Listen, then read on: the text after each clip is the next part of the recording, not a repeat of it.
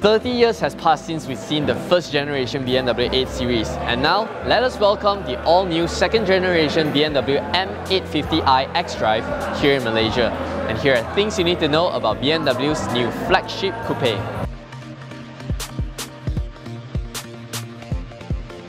Some interesting bits fitted on the 8 Series include these electronically controlled kidney grille flaps, BMW laser lights, as well as the M Performance kit.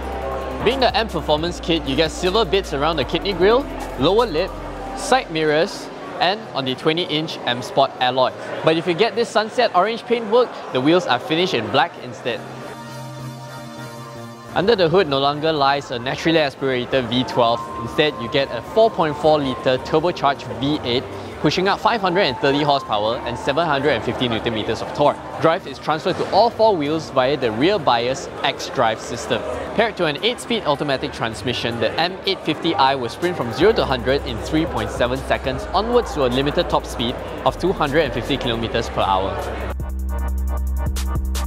The 8 Series gets BMW's latest generation cabin architecture, so you get this BMW Live Cockpit Professional, this new touchscreen infotainment system, an electronic gear selector with 8 series light embossment, that's pretty cool.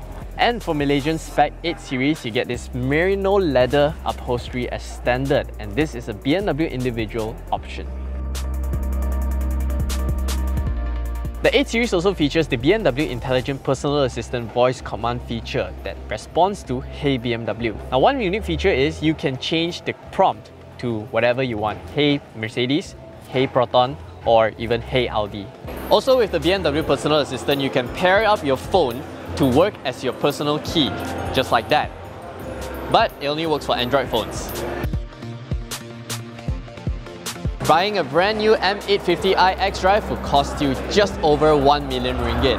Price befitting of BMW's luxury coupe. For more information of the all-new BMW 8 Series, do log on to autobuzz.my.